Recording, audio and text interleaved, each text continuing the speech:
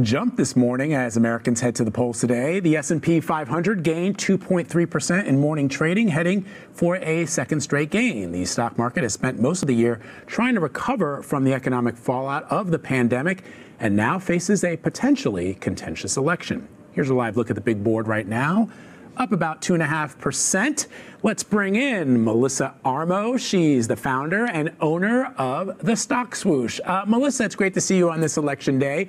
Um, so, walk us through what these numbers mean. Uh, I was talking to a friend of mine who's an analyst at a big uh, Wall Street firm, and he suggested that uh, the market is predicting a calm election, not a contentious one, with a winner that makes a clean victory. What are you hearing? Are you there?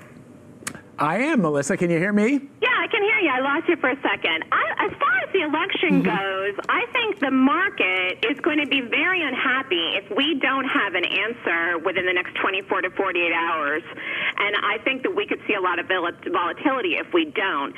If we do find out who wins, let's say Tuesday night, Wednesday, Thursday morning, the latest, I definitely think you're going to see a, a big reaction from the market. Whether it's up or down depends on really who wins. Now, now, as far as the overall trend of the market, I think the overall trend of the market is going to remain bullish no matter who wins. The market for most of the life of the market is always in an uptrend, but I think the selling that we saw in the last few weeks, now today we're rallying, but the selling we saw particularly last week and the week before was a lot of people taking profits because they were being cautious, because people were up. Uh, the market has had a nice run up here since those March lows, and people are unsure if they want to hold through the election results because, again, if we don't know, I think you're going to see, see extreme volatility going into the end of the week into Friday. So, a number of analysts caution against making drastic bets on the stock market post election. Um, do you agree with that advice?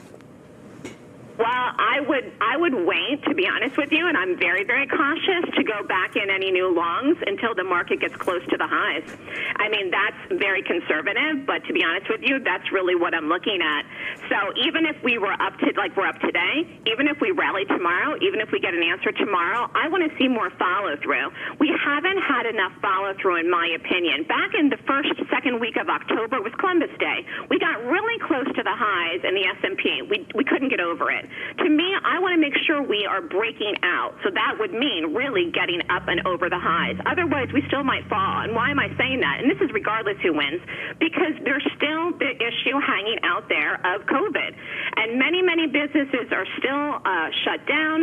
The Congress has not passed a stimulus bill. I'm thrilled that the numbers ha- were a lot better last week. GDP was better than expected last week. The unemployment claims finally got under that 800,000 number last week. All of that is good. But I think the problems that you're seeing in Europe with the shutdowns could affect the U.S. And again, it doesn't matter who wins. We don't we don't want to shut down again. The Labor Department, Melissa, is also releasing its job report for October on Friday. Uh, what do we expect to see from that? Number. For, they're looking for a number that's under eight percent, which would be great. I think if we could get any kind of strong number, that you could see a, see a nice rally on Friday if we have an answer who won the election. Because if we don't know who wins the election, by Friday, you're going to see volatility. It doesn't almost doesn't even matter what the number is. I don't see people jumping back in long this market or any particular stocks if they're unsure who wins. And the reason I'm saying that is because what if there's legal problems? What if this goes on way past when anyone thinks? Some of the states are allowing uh, the counts, like Pennsylvania is in contention. I'm from Pennsylvania. That's one of the states that is allowing people to mail in ballots even today, and they're counting, I think, through November 10th. Well, that takes us well into next week.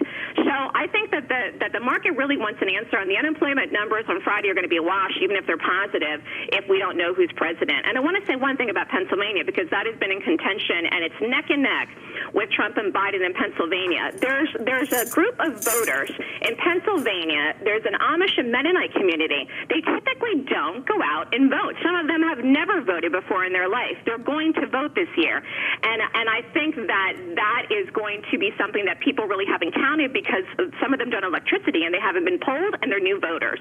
So there's a huge group of people in Pennsylvania that no one knows how they're going to vote, on which side they're going to vote on, that no one's really talking about, that could really either help Trump or hurt Trump, depending on which way they vote. That's a really interesting story. That you're right. I mean, I I know I don't think we've talked about that at all. Listen, Melissa, before um, we let you go, I know we've been talking about the impact of the election, but you did mention COVID and that we don't, you know, investors don't want to see a mass shutdown again. But we're looking sort of across the pond at what's happening in Europe, and we've kind of been watching Europe to see what could be happening with us. I'm wondering how much investors are looking at Europe and factoring that in when they're making their decisions. Well, that was part of the reason why you saw the big sell off last week.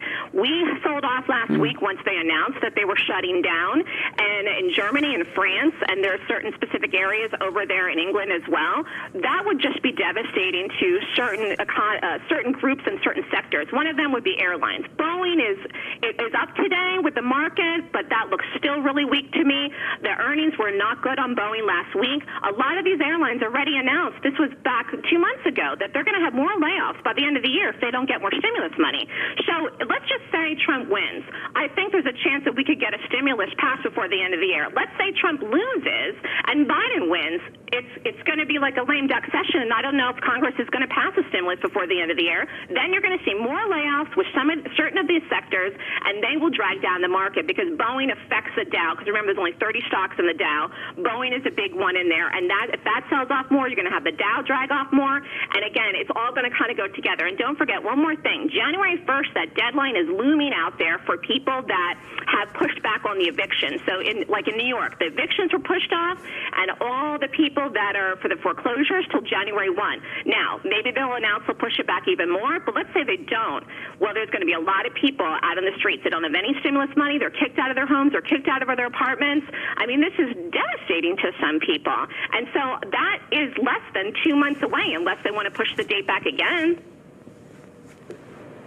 Yeah, that's all you know important things to remember to uh, re- for us to remember. And I know that you know for a lot of landlords, you see have their bills mounting. They've already sort of put in those requests for evictions, and they're yeah. just kind of waiting for um, you know the the courts to start start uh, firing up again.